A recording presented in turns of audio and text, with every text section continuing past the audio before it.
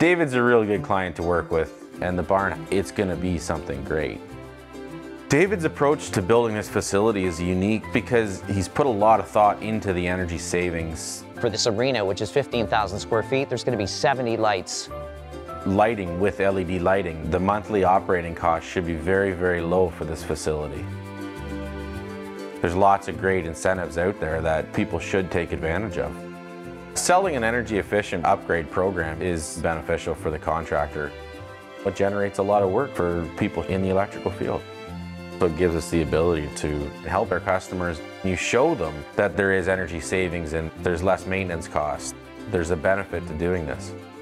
It is gratifying.